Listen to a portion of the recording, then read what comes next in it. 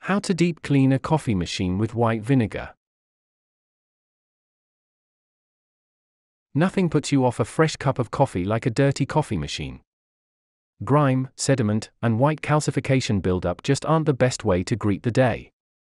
Thankfully, a bit of white vinegar, water, and a little time can get that coffee machine sparkling again. We'll show you how to mix the solution, run it through the machine, and rinse everything out to avoid a soapy, vinegary aftertaste. Welcome to Best Choices. This video will tell you how to mixing the vinegar solution, cleaning the coffee maker, and rinsing the coffee maker. Now let's get started.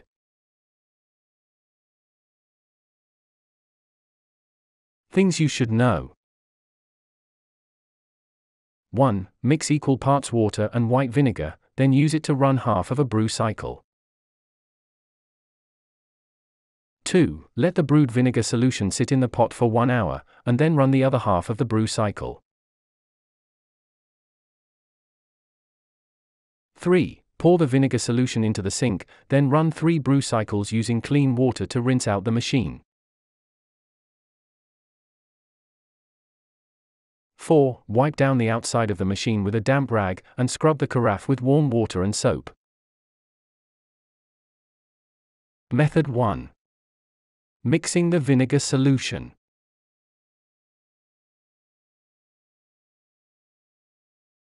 Number 1. Remove the filter and any coffee grounds. Empty the carafe of any remaining coffee grounds. Throw away the used filter if you haven't done so already. Pour out any remaining water from a previous brew. If you'd rather not throw out your coffee grounds after every pot, Compost them and use them in your garden later. Coffee grounds are a great source of supplemental nutrients for plants. Number 2. Wash the carafe with soap and rinse the basket under warm water. Use a sponge, warm water, and soap to scrub the carafe clean. Then, make sure there aren't any coffee grounds stuck inside of the basket filter. If there are grounds, wash the basket with soap and then rinse it with water. Place the basket back in the coffee maker when all of the grounds have been removed. Wash your coffee maker after each use with soap and warm water to keep it clean and ready for the next pot of coffee. Number 3. Mix a solution of 1 part white vinegar and 1 part water. Combine the white vinegar and water in the carafe, and use a fork or other utensil to whisk them together. Don't use more vinegar than water, too much vinegar can damage the internals of your coffee maker.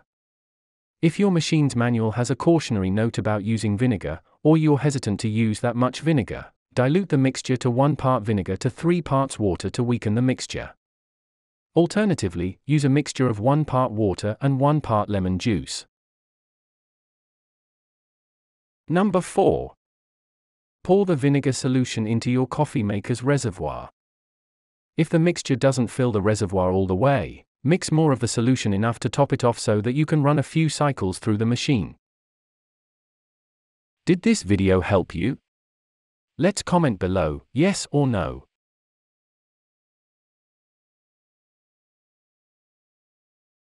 Method 2. Cleaning the coffee maker. Number 1. Brew half a pot of the mixture. Press the brew button once the vinegar solution is in the reservoir. Watch the coffee maker as it brews to avoid it completing the cycle.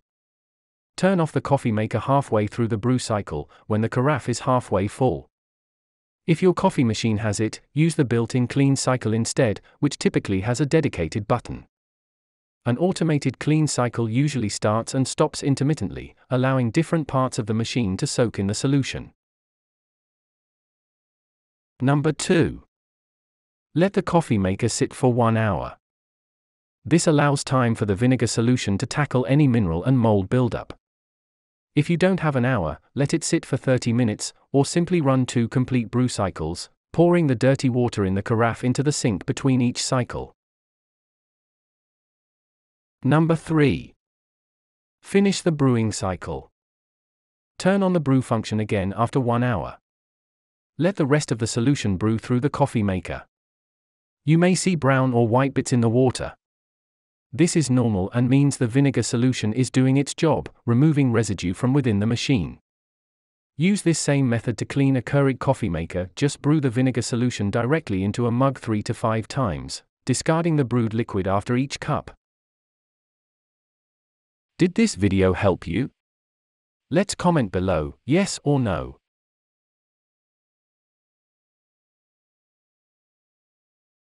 Method 3.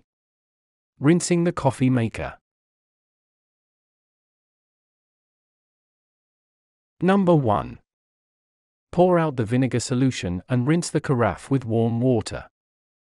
After the coffee maker has finished the complete brewing process, pour the solution down the sink drain. It's okay if there are still remnants of the solution left in the coffee maker. Fill the carafe halfway with warm water and swish it around, then pour the water down the sink to flush out any particulate.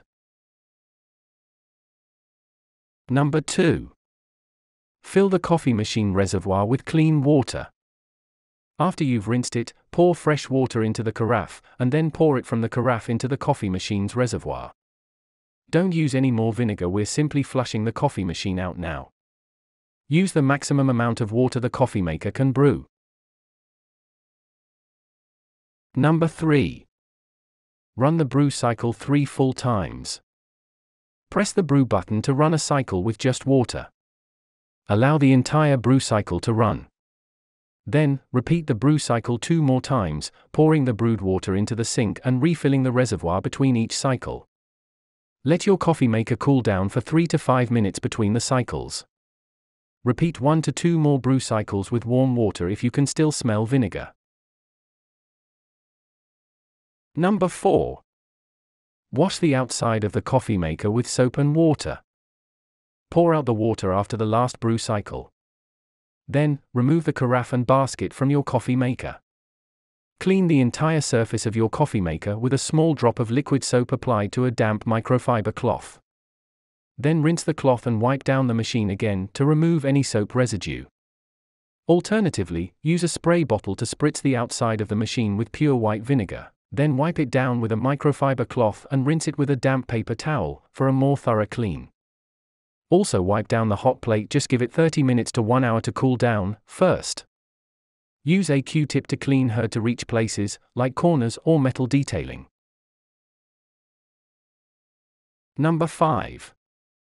Wash the coffee pot and basket to remove any vinegar residue. Hand wash the coffee pot and basket or put them into the dishwasher. To wash by hand, pour some dishwashing soap onto a sponge or rag. Scrub the entirety of the pot and basket. Then, rinse it with warm water.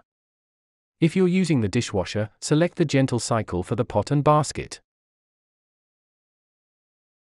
Number 6. Reassemble your coffee maker. Check to make sure there aren't any remnants of mold or mineral buildup left, and scrub them away with a sponge if there are. Then replace the carafe and basket when you're done cleaning. You're ready to brew a fresh cup of coffee. Tips 1. If you are using hard water in your coffee maker, you may want to decalcify more often than every 6 months. 2. Look for recommendations for decalcification in your coffee maker's manual. 3. Coffee maker manufacturers recommend that you clean coffee makers at least once per month, and decalcify it at least once every six months. 4. Use a pitcher or some other container to measure and pour the water into the coffee maker, rather than the carafe, to avoid calcification inside the carafe. Warnings Not cleaning your coffee maker at least once every six months could cause it to be filled with mold and bacteria. Did this video help you? Let's comment below, yes or no.